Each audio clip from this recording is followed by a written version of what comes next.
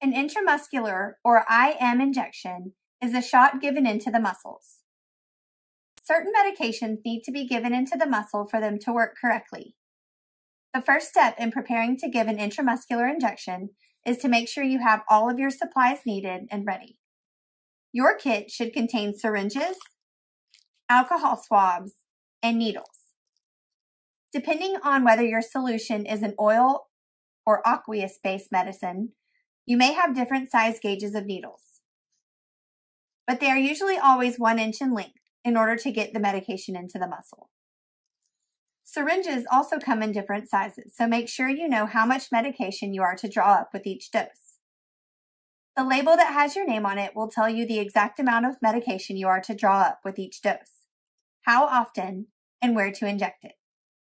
In this video, we are going to show you the steps for an intramuscular injection. Always make sure you check the beyond use date on your medication.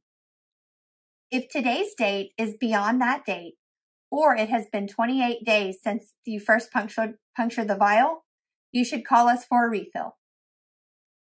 Also, check the medication inside that it is not cloudy and does not contain any particulates. Always wash your hands prior to getting ready for the injection. You can wear gloves to give the injection, and some people prefer to have a bandage open to cover the injection area once complete. To prepare the vial, Remove the tamper evidence seal that is on top of the vial. This can be discarded or placed back on top after use, but it does not aid in the sterility of the vial.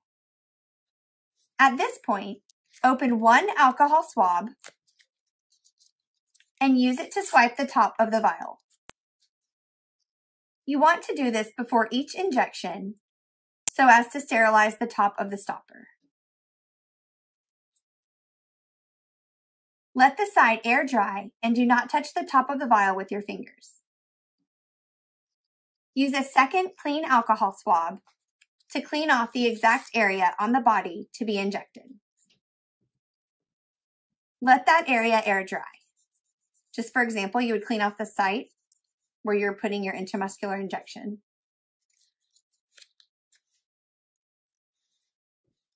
Assemble your needle and syringe by opening each of the packagings trying to avoid touching much of the separate pieces.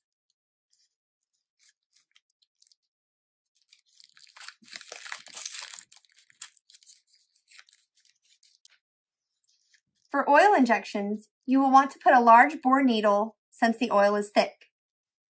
We use an 18 gauge needle to draw up the medication. You can change this needle later once you inject into the muscle.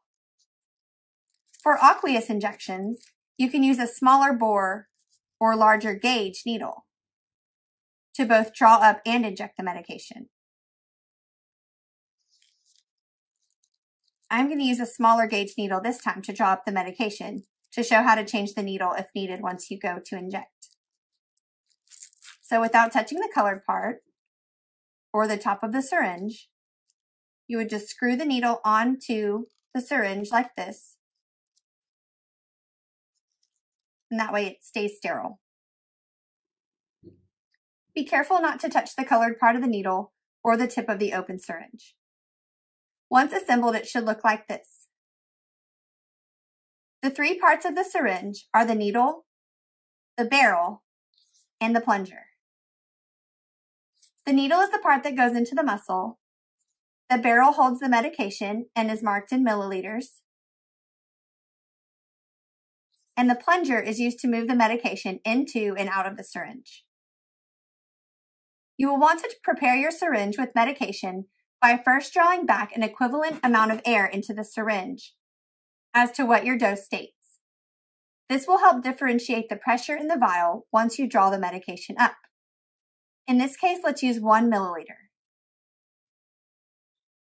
The top black line of the plunger is where you will line up with your dose. So the top of the plunger here, we pull back to one milliliter of air.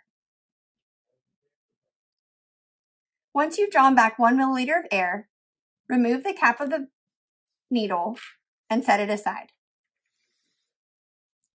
With the bevel of the needle or the angled side facing up, proceed to insert the needle through the rubber stopper in the top of the vial.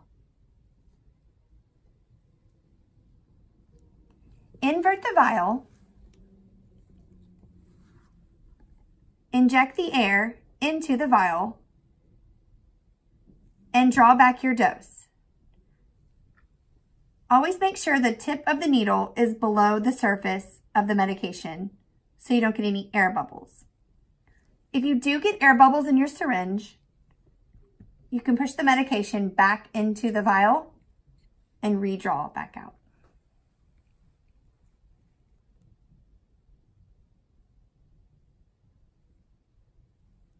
Once you get your dose where the top of the plunger is at the line that you need,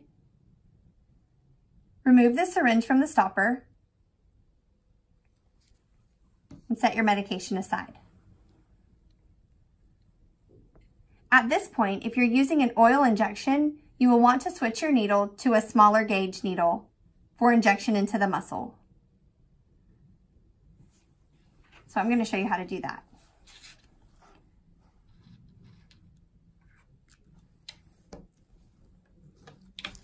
So we're going to open a, um, a larger gauge needle. We're going to use a 25 gauge to inject with. We used an 18 to pull out for an oil injection. So again, do not touch the colored part of the needle. You'll want to screw off the previous needle and go into your new needle. And you can set those pieces aside.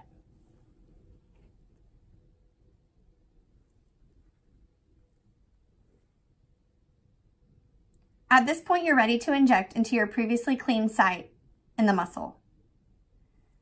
Please watch the video entitled Intramuscular Injections Injection Site to proceed in giving the intramuscular injection. As always, please contact us if you have any questions about how to draw up an intramuscular injection.